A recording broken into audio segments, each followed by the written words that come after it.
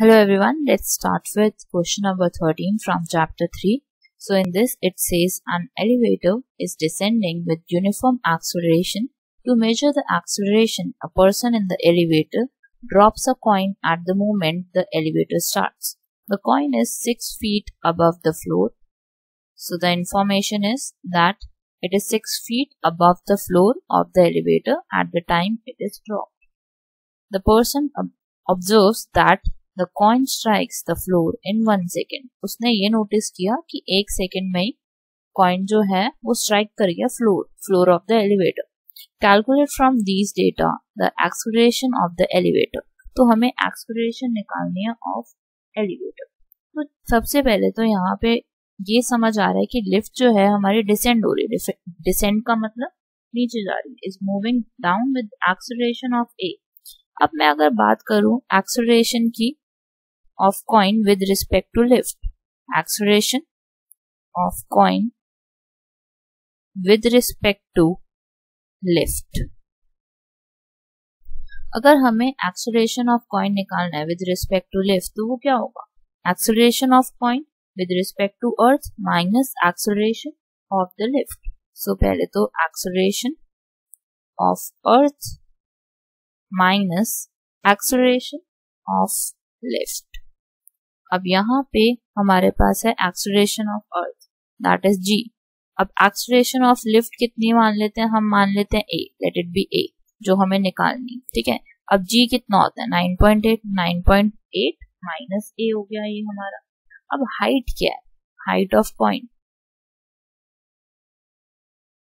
it is six feet it is eight six feet अब six feet तो लेंगे नहीं. It must be in metre तो six feet को जब आप कन्वर्ट करोगे in metre you will get one point eight two eight eight metre अब टाइम टाइम कितना लगा है उसको? वन सेकेंड यू कितना है?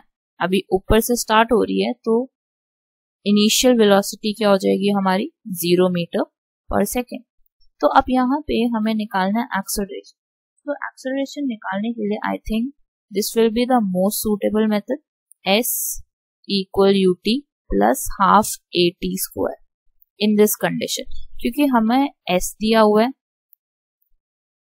we are we know the value of u we know the value of a we know the value of t तो अब निकाल लेते हैं, इसको सिंप्लीफाई कर लेते हैं। एस की वैल्यू हमारे पास है 1.82 क्योंकि आपको पता है हाइट जो होती है it represents distance so it will be 1.8288 equal t अब यू टी क्या हो जाएगा? ज़ीरो ही हो जाएगा क्योंकि हमारा जो ज़ीरो है, जो यू है हमारा वो ज़ीरो है। Zero into t is zero plus half a की वैल्यू कितनी निकाली अभी हमने? एक्सलेशन ऑफ़ पॉइंट कितना निकाला with respect to lift it is nine point eight minus a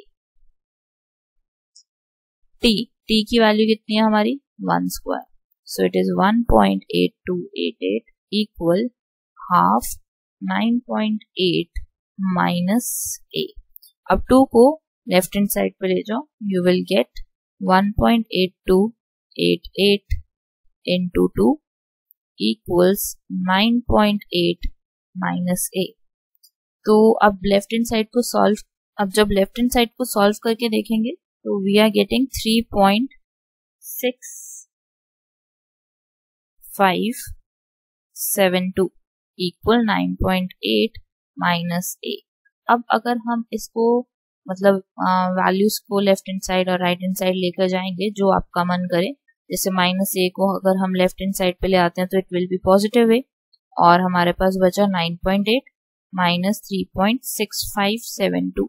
तो जब आप इसको सिंप्लीफाई करोगे you will get result in somewhat at 6.2 it will be 6.2 meter per second square.